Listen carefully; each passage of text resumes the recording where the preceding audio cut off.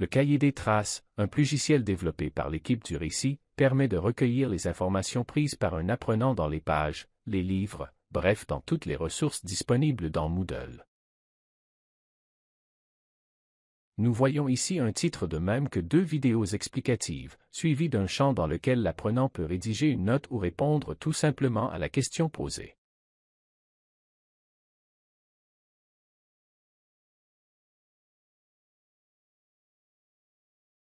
Chaque apprenant dispose donc d'une zone personnelle pour écrire.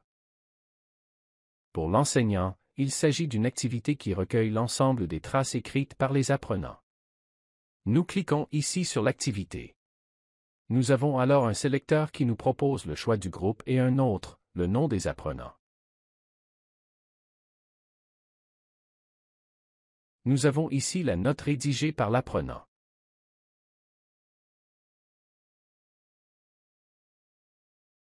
Nous pouvons ici ajouter une rétroaction.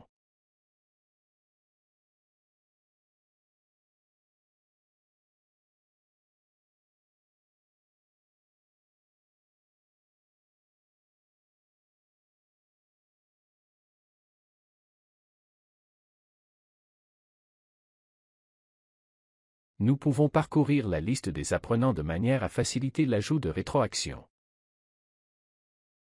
Nous avons la barre de progression pour chaque apprenant.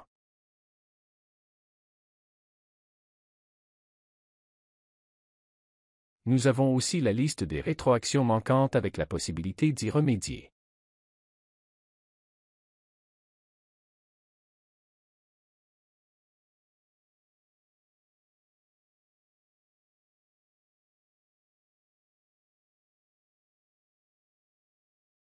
L'onglet Progression facilite le suivi par groupe.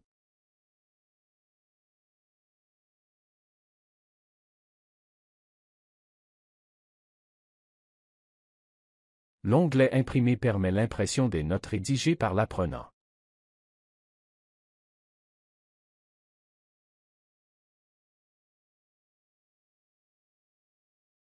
Pour résumer, le cahier des traces du récit permet à l'apprenant de rédiger une note et à l'enseignant, d'apporter une rétroaction à la trace laissée par l'apprenant.